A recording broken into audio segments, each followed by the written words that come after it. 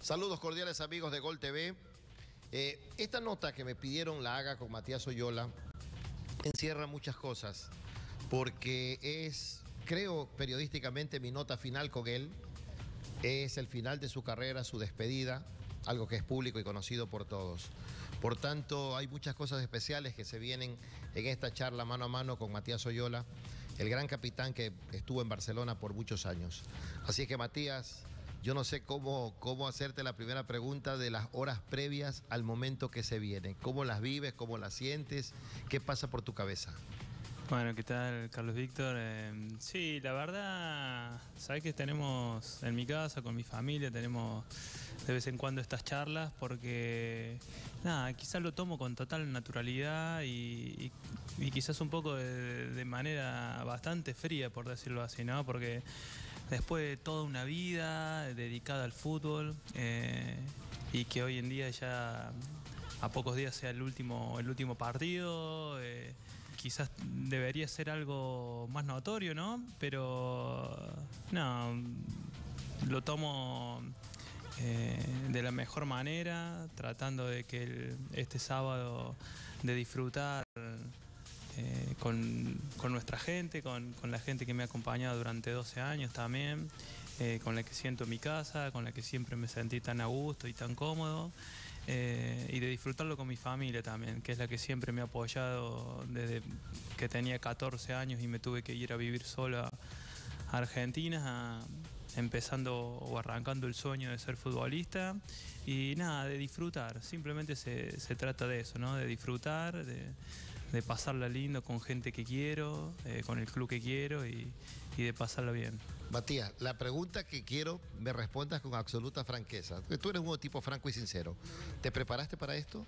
¿Para este momento el que tenía que inexorablemente llegar en la vida de cualquier futbolista? Sí, obvio. O sea, o sea te digo para restarle eh, drama a esto, que muchos dicen es el, es el momento más duro para un jugador retirarse del equipo que quiere. Sí, obviamente es complicado, es duro, no es fácil dejar de lado lo que uno ama, porque te vuelvo a repetir, o sea, quizás empecé de los 14, pero eh, me acuerdo que mi, primer entrenamiento fue a los 5 años que mi abuela me llevó a, un club de Río Cuarto, de donde soy yo, y desde ese día ya sentí amor por la pelota de forma indescriptible, por decirlo de una manera. O sea, me apasiona muchísimo el fútbol y, ya son 35 años dedicado a pleno a eso, ¿no? Y ahora decir basta, empezar desde otro lugar, eh, obviamente te tenés que preparar. Tengo amigos que han dejado el fútbol, me han dicho que, que, es complicado, eh, inclusive tengo una linda anécdota con Pablo Aymar. Eh, que me lo cruzó una vez en Río Cuarto y bueno, hablando un poco de esto, me dice, mira Mati, a mí una vez que deje de jugar al fútbol, eh, ocupa la cabeza en algo porque va a ser difícil, como que también él lo sintió y me decía, ese, por lo general nosotros sabemos de fútbol, ¿no? Hemos estado toda una vida dedicada al fútbol y lo que nos apasiona y lo que nos gusta es esto, entonces eh, seguí un poco por esa línea y es también lo que pretendo hacer. Pero siempre, ¿sabes? Que yo siempre dije que quería jugar hasta los 40 años, una vez que lo conseguí, eh, después saber y entender de que también en la vida todo se termina, ¿no? Tiene un punto final y, y, tota-, y tomarlo con el con, todo el realismo de la situación o del momento, ¿no? A todos nos encantaría ser parte de Barcelona hasta los 80 años, jugar al fútbol toda la vida, pero no se puede, es imposible. Entonces, nada, hacer hincapié en, en todos los años que pasaron, que los disfruté, en los buenos es algo indescriptible vivirlo con Barcelona, los malos tienen su lado de aprendizaje y, me quedo con eso, ¿no? Con los años vividos, más que en el final. Ligo lo que te dijo Pablo Aymar eh, con la siguiente pregunta. Frente al espejo o en la ventana, mirando el horizonte, ¿qué hay más allá en la vida de Matías Oyola? ¿Qué es lo que se viene? ¿A dónde le apuntas? Bueno, siempre creo que también el, fútbol te quita bastante tiempo, bastante disfrute con tu familia, fines de semana concentrado y no poder disfrutar con ellos cuando están todo el día en casa, eh, viajes, concentraciones, pretemporadas, que te vas 15 días, un mes. Eh, ahora estoy viviendo todo eso con, con ellos, tratar de estar en todo momento. Y, luego, en, el plano laboral, seguir ligado al fútbol, un poco lo que te comentaba antes, eh, qué es lo que me gusta, qué es lo que me apasiona. se puede saber? Eh, me encantaría seguir ligado eh, al tema de, de, dirección técnica. Me gusta, me gusta eh, el tema de estar con el plantel, el, estar con el jugador, la idea de planificar un partido, la idea, sí, obviamente son cosas totalmente distintas. ¿Pero estás preparado para eso o no? Estuve, estuve dos años estudiando mientras era jugador, eh, hice el curso online de Argentina en la escuela de Menotti, eh, ya me terminé de cursar ahora... ah, ya título. Sí, ya presenté todos los papeles, estoy esperando el título para que el título de eh, pro de Conmebol. Eh, también me preparé y, e hice un curso en, Uruguay, eh, un curso que me recomendó de gerencia deportiva Rubén Valenzuela, que era el, que era el profe en su momento de Guillermo Almada y que hoy actualmente está en Pachuca. Así es. me lo recomendó ese, ese curso, también lo hice. obviamente después también el haber sido jugador te capacita desde las acciones más que desde la teoría pero te vuelvo, o sea, soy, consciente que el haber sido jugador tantos años tampoco te da la capacidad para ser técnico y menos aún para ser un gran técnico. Es arrancar de cero, es capacitarse, eh, eh, obviamente recopilar todas las vivencias que has tenido de, grandes técnicos que me he cruzado, el creer o, situaciones que, quizás no repetiría de ciertos técnicos también, te vuelvo a repetirse.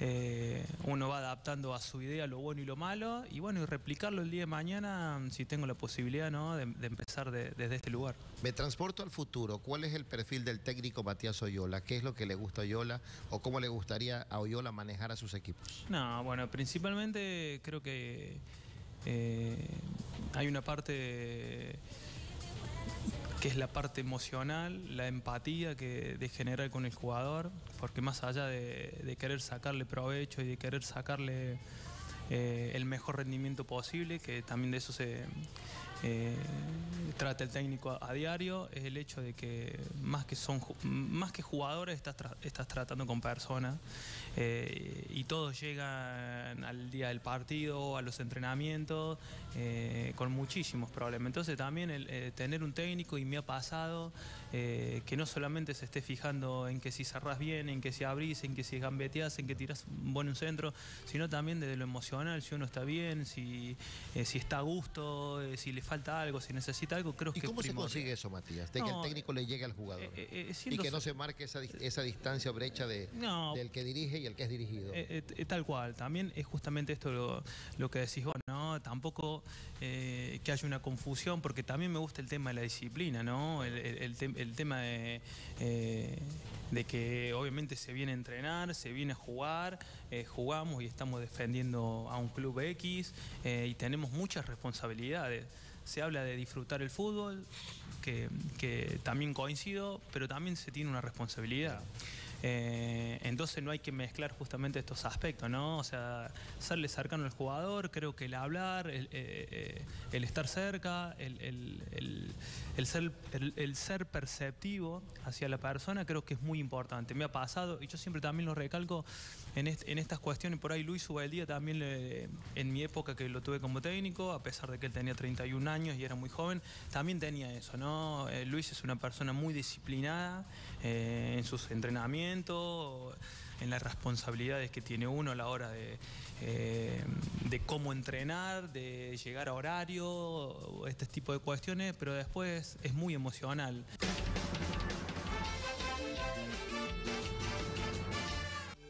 Con más de seis equipos en Argentina y dos en Ecuador, Matías Oyola pone fin a su carrera luego de 40, a sus 40 años. A continuación vamos a ver la segunda parte de lo que fue esta interesante entrevista donde Carlos Víctor logró sacar esa parte emotiva también y poder conocer un poco más de la parte personal de Matías Oyola y por supuesto todo lo que pretende disfrutar este fin de semana cuando se pueda, pueda tener un merecido homenaje por parte de Barcelona.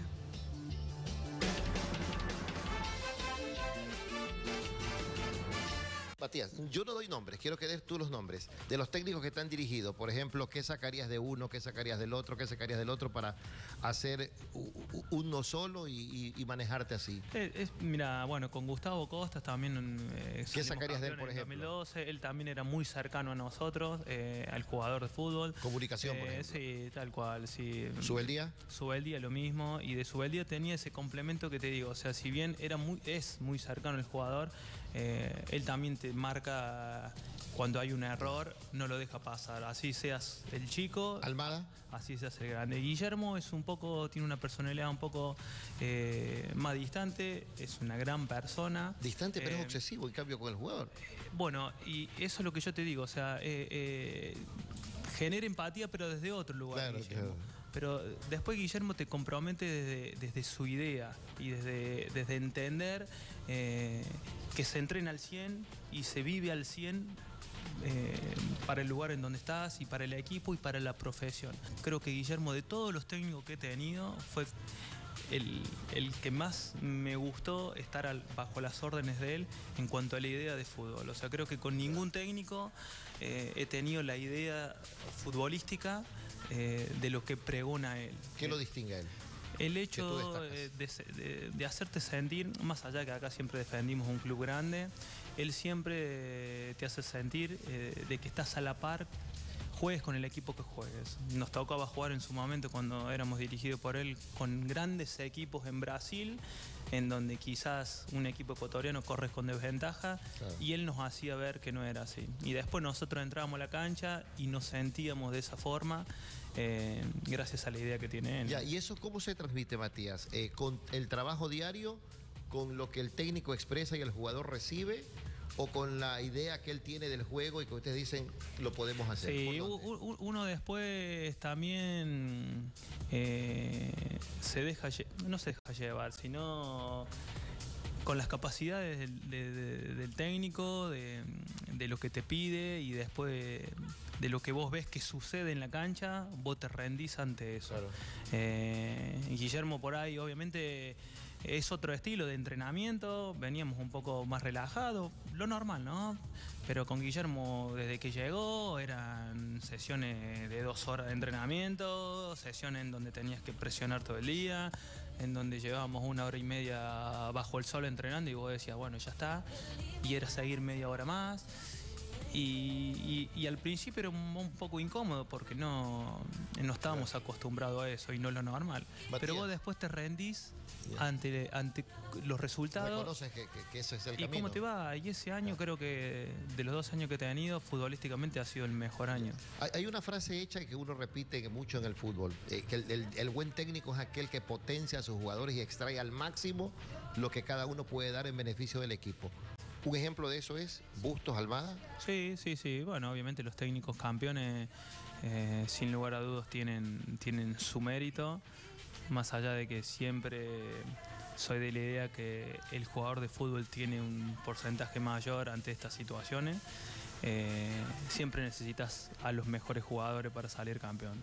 O sea, puedes ser un excelente técnico, eh, puedes tener o estar rodeado de grandes eh, personas y capacitadas al lado tuyo, pero si no tenés a los mejores jugadores o jugadores deportivamente, futbolísticamente y mentalmente capaces, considero que es muy difícil.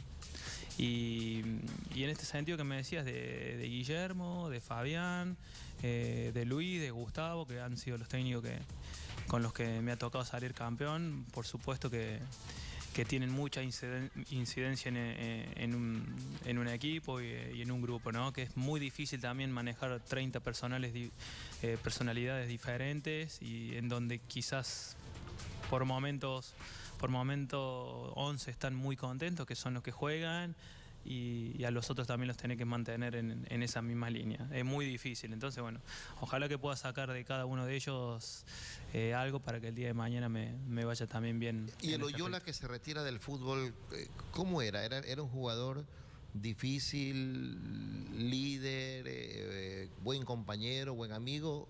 O sea, ¿cómo, cómo te defines? ¿Jodido? ¿Discutidor con la dirigencia?